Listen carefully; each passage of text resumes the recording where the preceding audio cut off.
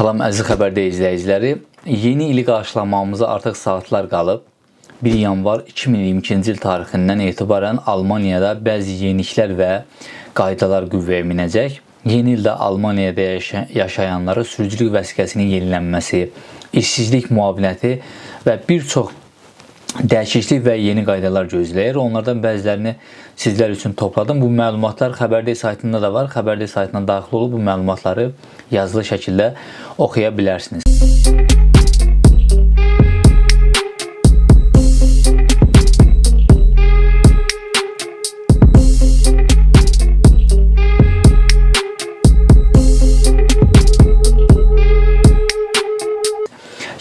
2022-ci ilin yanvarından Almaniyada plastikdən istifadəni azaltmaq və ətraf mühiti qorumaq üçün yüngül plastik torbadan istifadə tamamilə qadağan ediləcək. Qadağanın pozulması halında mağaza və marketlərə qarşı inzibati tədbirlər görüləcək. Yeni ildə Almaniyada əhalinin siyahıya alınması aparılacaq.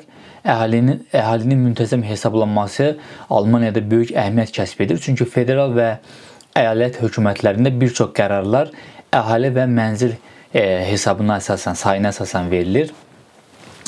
2022-ci ilin yanvar ayından Hartz 4 kimi bilinən sosial yardım ödənişində də e, artım olacaq. Bu müavinət tənha böyüklər üçün 3 avro artıraq 449 avroya, 14 yaş və yuxarı gənclər üçün 376 avroya yüksələcək.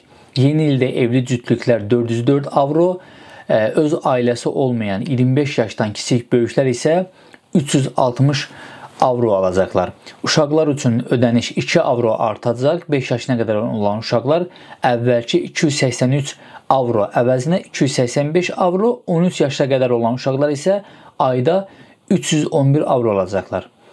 Deməli 31 mart 2022-ci il tarixinədək işə götürənlər maksimum 1500 avro limiti keçməmək şərti ilə işçilərinə vergisiz korona bonusları ödəməyə davam edəcəklər. Yeni ildə Alman sürücülük vəsiqəsi kredit kart tipli sürücülük vəsiqəsi ilə əvəz edilməlidir. Dəyişiklik mərhələli şəkildə həyata keçiriləcək. 1953-1958-ci illər arasında anadan olmuş və 1999-cu ilin yanvarın 1-dən əvvəl verilmiş sürücülük vəsiqəsi olan hər bir şəxs 19 yanvar 2022-ci il tarixinədək sürücülük vəsiqəsini yenilənməlidir. 1959-1964-cü il təvəllüdlü vətəndaşların sürücülük vəsiqəsini dəyişmək üçün isə 1 il vaxtları var. Köhnə sürücülük vəsiqəsi ilə polis tərəfindən saxlanılan şəxsləri də təbii ki, cərimələr gözləyir.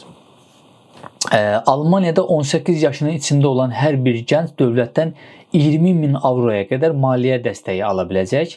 Məqsəd gəlir bərabərsizliyini bərabərsizliyinin aradan qaldırılması ilə yanaşı gənclərin öz bacarıqlarını iş həyatlarında rahat bir şəkildə göstərə bilməsinə təşviq etməkdir. Ancaq bu 20 min avro gənclərə birdəfəlik ödənməyəcək. Əvvəlcə onlar bu məbləği üçün təyinat göstərməlidirlər. Məsələn, ev ehtiyacları, təhsil yoxsa öz işini qurmaq. Bundan sonra onlar bu məbləği mərhələli şəkildə ala biləcəklər. Bu planın Almaniya hökumətinə illik 15 milyard avroya başa gələcəyi proqnozlaşdırılır. Ona 9% bahalaşacaq.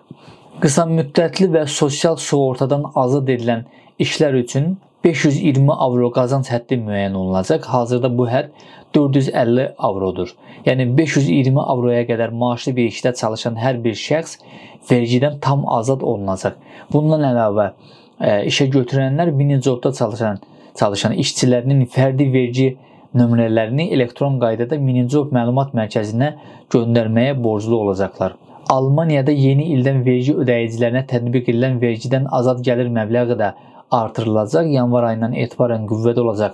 Yeni qaydaya görə subaylar 9984 avroya qədər olan qazanclarına görə vergi ödəməyəcəklər. Evli şəxslər üçün bu məbləğ 19968 avroya qədər artacaq. Beləliklə Subaylar üçün vergisiz gəlir məbləği 240 240 avro, evlilər üçün isə 480 avro artacaq. Avropada olduğu kimi yanvarın 1-dən Almaniyada yanacaq və təbii qaz bahalaşacaq. ətraf mühitin çirklənməsinə səbəb olan karbon qazı emissiyalarını azaltmaq üçün karbon dioksidə görə verginin artırılması yanacaq qiymətlərinin art artmasına səbəb olacaq. Yeni ildən qüvvəyə minəcək yeni qaydaya görə karbon qazının 1 tonunun qiyməti 30 avro artacaq. Bu artım benzinin litrinin 1.5 sent bahalaşmasına səbəb olacaq. Təbii qazın qiyməti 1, dizelin qiyməti isə 9.5 sent artacaq. Yeni ildə təkcə yanacaq deyil, poçt xidməti haqlarının da artacağı gözlənilir. Bu ilin iyul ayından standart məktublar üçün göndərmə haqqını 70 sentdən 80 sentə, açıqca göndərmə haqqını isə 45 sentdən 60 sentə qaldıran Almaniya Poçt İdarəsi yeni ildə poçt haqqını artıracağını açıqlayıb. Müvafiq olaraq standart məktublar üçün göndərmə haqqı 85 sentə, açıqca açıqcalar 70 sentə, böyük səhvlərin göndərmə haqqı isə 5 e, sentə qədər bahalaşacaq. İstehlakçılara telefonla zəng edərək icazəsiz məhsul satan şirkətlər cəzalandırılacaq. Şirkətlər telefonla reklam üçün istehlakçılardan aldıqları satış icazəsini qeyd etməli və bu qeydləri 5 il müddətində saxlamağa məcbur olacaqlar. Yeni ildə Almaniyada bizləri gözləyən bəzi yeniliklər bunlar idi. Sağlıqla qalın.